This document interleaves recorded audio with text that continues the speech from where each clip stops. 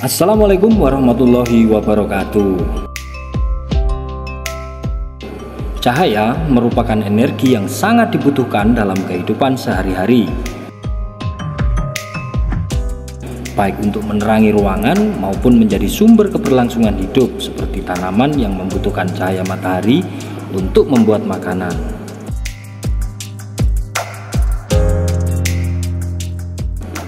Menurut Kamus Besar Bahasa Indonesia, cahaya adalah sinar atau terang yang berasal dari suatu yang bersinar seperti matahari, bulan, dan lampu.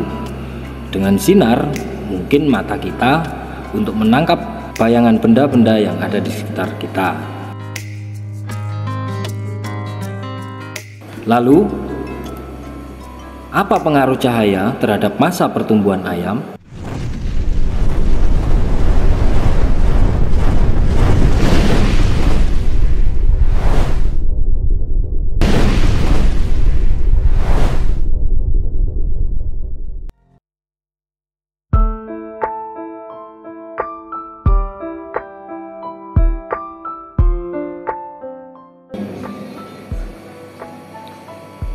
Cahaya dapat didefinisikan sebagai suatu bagian dari spektrum gelombang elektromagnet yang dipancarkan oleh sumber cahaya.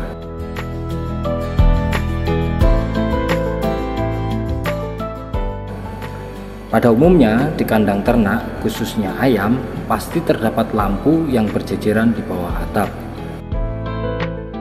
Dan ini disebut sistem pencahayaan.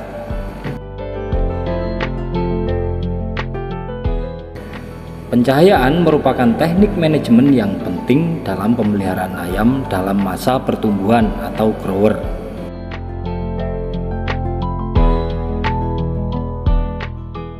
Untuk meningkatkan pertumbuhan dan menekan kematian.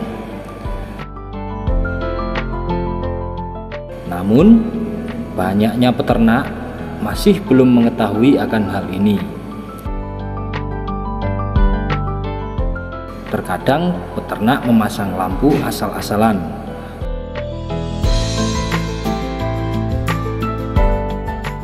Lalu, apa pengaruh cahaya terhadap masa pertumbuhan pada ayam?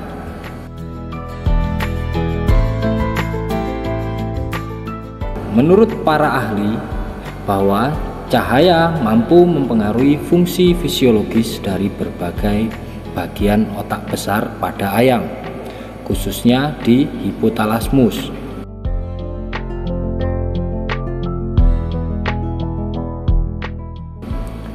Fungsi hipotalamus pada otak ini terbilang penting karena terhubung dengan sistem saraf dan beberapa kelenjar lainnya.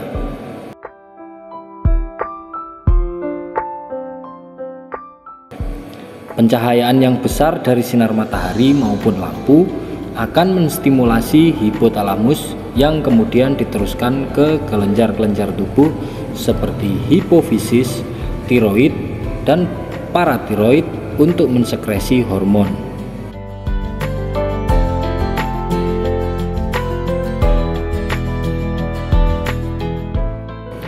Berikut peran masing-masing hormon yang disekresikan atau dihasilkan.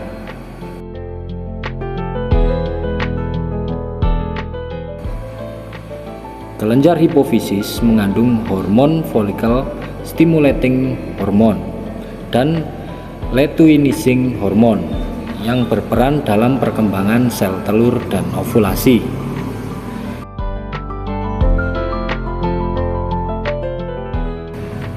Kelenjar tiroid juga akan menstimulasi untuk mensekresikan hormon tiroksin yang berperan dalam pertumbuhan.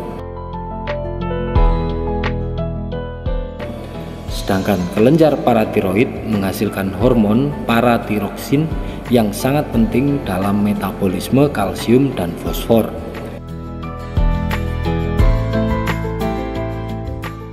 Di mana kalsium dan fosfor ini dibutuhkan dalam pembentukan tulang dan kerabang telur.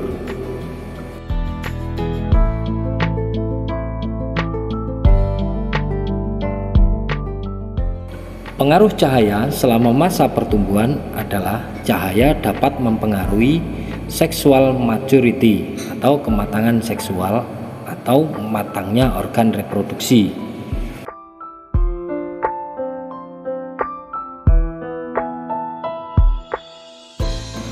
Penambahan dan pengurangan cahaya atau jam terang juga sangat perlu diperhatikan karena dapat mempengaruhi kematangan seksual dari ayam.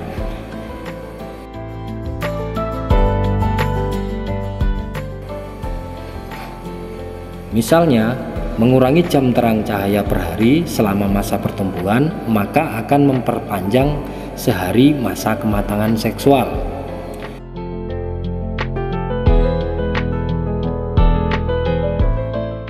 Yang kedua, jika mendapatkan full lighting atau tambahan pencahayaan sebelum waktu bertelur, maka berakibat pada dewasa kelamin menjadi lebih cepat. Telur yang dihasilkan kecil-kecil dan produksi telur relatif rendah.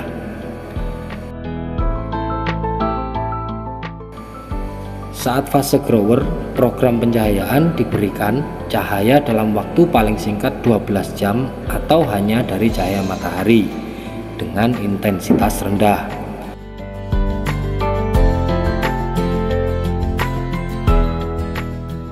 Hal ini dimaksudkan untuk mengontrol perkembangan saluran reproduksi dan pencapaian berat badan yang optimal saat mulai bereproduksi.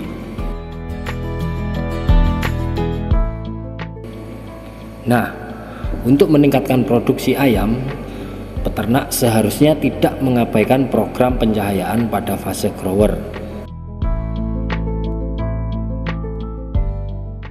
Karena manajemen pencahayaan yang kurang dapat menyebabkan produksi telur yang rendah.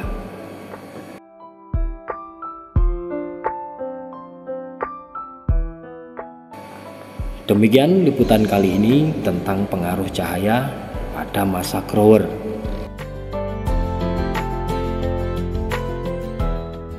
Semoga liputan kali ini bermanfaat untuk sahabat maestro sekalian.